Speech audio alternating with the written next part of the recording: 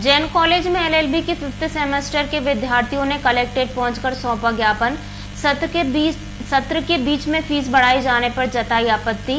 प्रबंधन से ठीक जवाब न मिलने पर कलेक्टर को सौंपा ज्ञापन।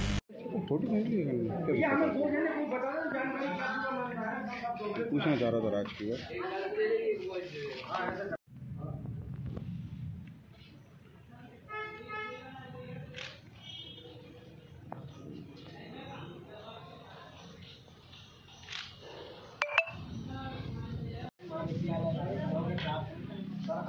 हम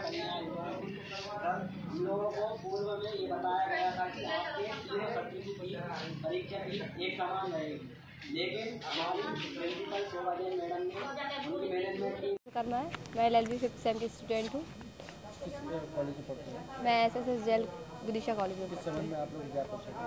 हमारी फ़ीस बढ़ा दी गई है बीस सत्र से। इसलिए क्या कहाँ का था और क्या पहले हमारी फ़ीस कम थी अब हमारी फ़ीस तीन हज़ार बढ़ा दी गई है हमें वो फ़ीस कम करवानी है। मतलब कितने स्टूडेंट मेरा नाम अंकित शाक्य है मैं L L B fifth semester का छात्र हूँ S S L Jain college में।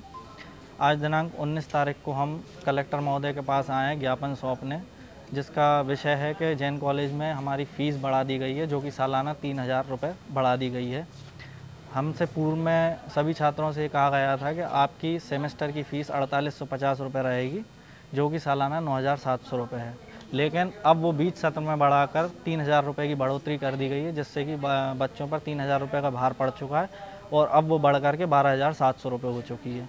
और साथ ही साथ बच्चों को गुमराह किया जा रहा है, ना ही कोई नोटिस दिया गया ना ही कोई अधिसूचना दी गई है और ना ही कोई किसी प्रकार का आदेश पारित हुआ है। जब हमने प्रधानाचार्य महोदय से पूछा कि ये आदेश किस के तहत पारित हुआ है तो उन्होंने कहा कि ये गवर्निंग बॉडी का डिसीज़न है तो हमने उनसे पूछा कि, मैडम गवर्निंग बॉडी का कोई आदेश है, कोई अधिसूचना?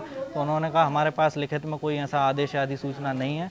तो हमारा एक मूल सवाल ये है कि इस तरह की मनमानी कैसे हो सकती है जब आपके पास किसी प्रकार की अधिसूचना या किसी प्रकार का आदेश नहीं बस हमारी कार्रवाई, हम यही चाहते हैं कि जो पूर्व में फ़ीस ली जा रही थी वही ली जाए। बाकी कॉलेज को जो डिसीज़न लेना है वो नए सत्र से लिया जाए। बाकी जो कंटिन्यू में बच्चे हैं उनके साथ कोई भी छेड़खानी ना की जाए।